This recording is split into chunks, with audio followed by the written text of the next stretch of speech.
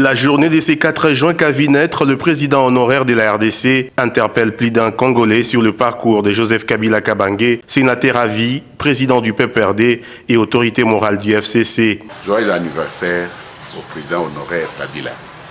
En tout cas, c'est quelqu'un qui est de notre génération, mais il a marqué, marqué vraiment cette génération, vu son âge, ce qu'il a fait, en tout cas ses prédécesseurs, la plupart, ils n'ont jamais fait ça, qui sont de notre génération.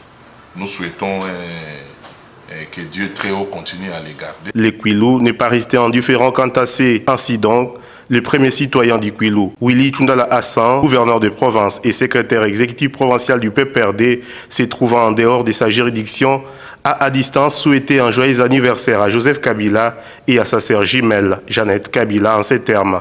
Je cite L'histoire retiendra ton sens élevé de l'unification de la RDC.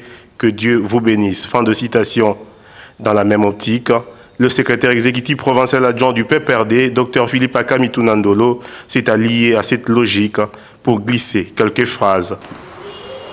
Oui, d'entrée de jeu, nous commençons d'abord par euh, souhaiter un bon anniversaire euh, à Joseph Kabila Kabangi, président national du PPRD et autorité morale qui FCC.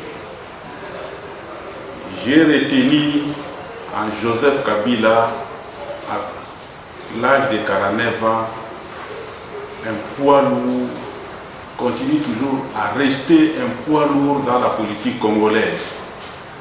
J'ai également retenu en Joseph Kabila l'attachement à sa famille, l'attachement à ses collaborateurs et également l'attachement à son pays. En somme, le pépère de Quilou reste inanime derrière la vision et l'idéologie politique de Joseph Kabila, tout en saluant l'avenir au monde de cette figure emblématique et père de la démocratie congolaise en cette date du 4 juin.